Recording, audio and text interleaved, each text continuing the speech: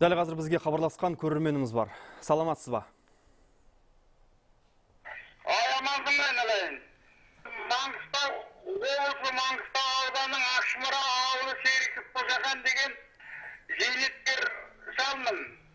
Биыл мына жауын шашынның болмауына байланысты жерге қоныс болған жоқ. Жазда, да күзде де жазғырында жауын жауған жоқ, сондықтан шөп. Болмағаннан кейін мал арық болып жаздай, қазір күзде де мал бөліп жатыр. Қазір екі жүздің үстінде жылқы өлді.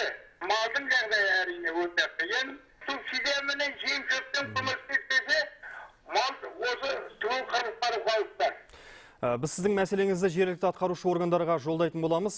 Мән жайын анықтау үшін міндетті түрде сізге хабарласатын боламыз.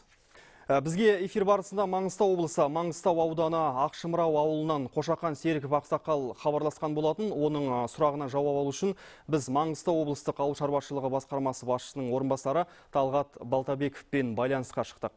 Кеш жарық. Сіздің өңірдегі Ақшымырау ауылының тұрғындары жауын-шашынның аздығынан, мал азығынан таршылық көруде.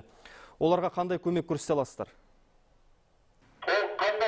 Жүз миллион ақша бөлінді енді тағы да келеді осы келесі демалыста кетіп қалады жаңағы вагондарымыз мал азығымен бізге мына ы, жаңа нелер де әкеліп жатыр кәсіпкерлер де әкеліп жатыр Яғни- аптасына где-то он он екі вагондай артып келіп жатыр ғой не жем Яғни субсидия болмайды ғой ешқандай. субсидия жоқ арзандау нарықтың бағасымен сол сатылады Рахмет, құрметті Қошақан Ақсақал, бұл мәселені ұлттық арна тілшілері де назарда ұстайтын болады.